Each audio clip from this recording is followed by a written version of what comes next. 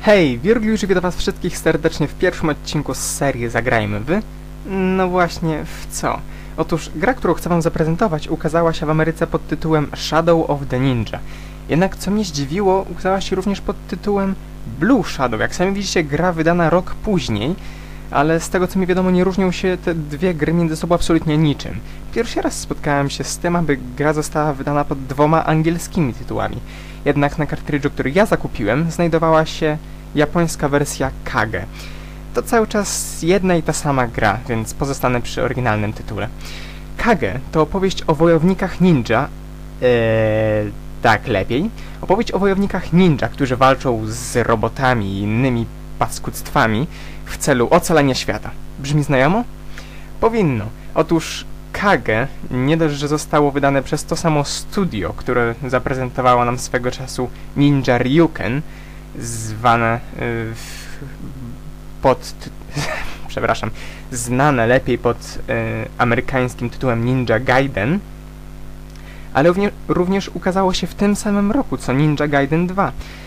I chociaż żałuję trochę, że nie jest to gra tak rozbudowana, jak już wspomniany przeze mnie tytuł, to Bogu dzięki, że nie jest taka trudna.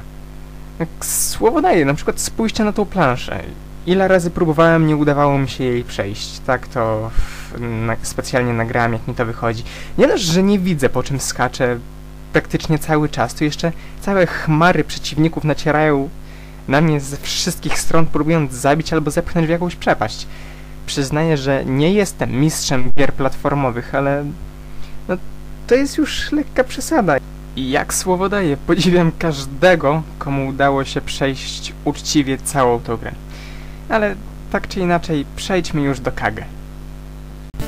W roku 2029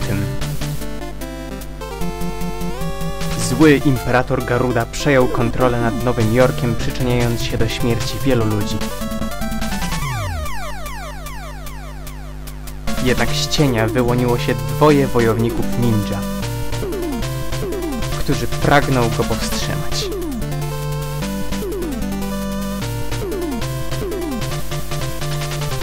Są nimi Hayate i Kaede. Tak mniej więcej przedstawia się historia gry Kage lub jak jej pełny tytuł brzmi Yami no Shigotonin Kage. Jednak w samej grze nigdzie nie widziałem tego pełnego tytułu, więc muszę polegać na źródłach, z których korzystałem.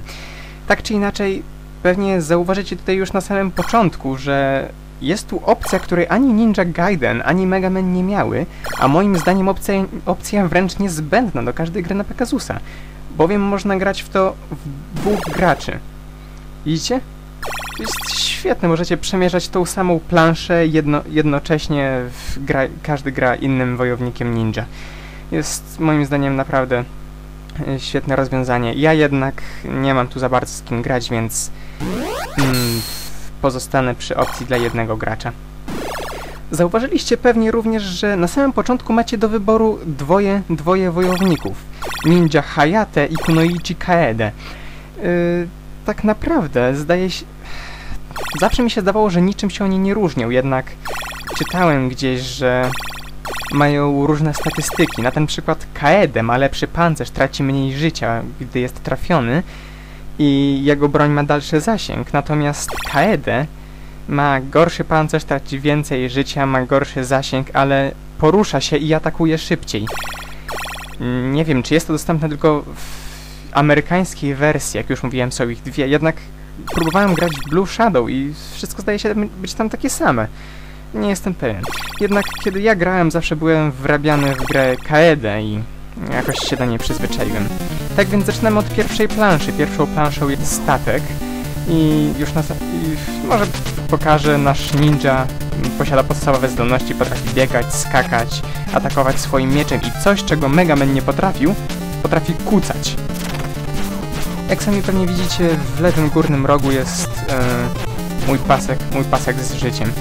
I, i numerki, tu, znajdujące się tuż obok tego paska. Pierwsze co przychodzi na myśl to to to ile, ile jeszcze żyć mi pozostało, prawda? Otóż nie, nie do końca. W tej grze nie mamy żyć, mamy tylko kontyn kontynuację. Nawet kiedy spadniemy do przepaści, nie, nie tracimy żyć, tylko trochę energii z naszego ogólnego paska. Widzieliście właśnie z tego pojemnika podniosłem shurikeny i widzę ile mam amunicji. Do tego służą te numerki. Możemy się również wspinać, wspinać po rurach. Yy, oto jest łańcuch, druga z podstawowych broni. Podczas gdy będziemy przemierzać yy, miasto Nowego Jorku, będziemy mogli wybierać, czy chcemy grać z łańcuchem, czy z mieczem. Mm, Moim zdaniem, ja osobiście lubię łańcuch, jednak miecz zdaje się być nieco lepszy, kiedy gra się, yy, gra się w jedną osobę, ponieważ jest on szybszy. Pozwala łatwiej rozprawić się z niektórymi przeciwnikami. Naprawdę nie wiem, co, je, co jeszcze wybiorę.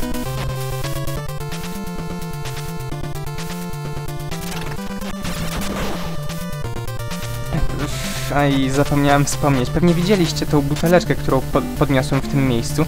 Jest to odpowiednik apteczki w tej grze. Yy, są takie dwa, czerwone buteleczki i fioletowe buteleczki. Czerwone buteleczki napełniają połowę waszego życia, a fioletowe całe. O, ludzie, strasznie się rozgadałem, ale to pierwszy odcinek i sporo rzeczy jest do wyjaśnienia. Oto jest nasz pierwszy boss, który jest naprawdę dziecinnie prosty, ale no cóż, pierwsza, pierwsza plansza pełni funkcję yy, planszy treningowej, więc nikogo nie powinno to dziwić. O, właśnie skończyły mi się shurikeny, więc mogę zaprezentować jak wygląda łańcuch. Otóż łańcuch nie, do, nie dość, że widzicie, dalszy zasięg, to możecie jeszcze atakować nim w górę. A, niech to. I pod kątem. Nawet w powietrzu. Jednak nie możecie atakować nim pod kątem w dół, nawet kiedy jesteście w powietrzu czy na drabinie. Jednak to naprawdę nie przeszkadza. Ten boss jest naprawdę bardzo prosty. Jak sami widzieliście, nie musiałem się nawet nie musiałem nawet się starać omijać jego ataków. No cóż, tak czy inaczej, do zobaczenia następnym razem, kiedy to będziemy przechodzić drugą, drugą planszę. Hej!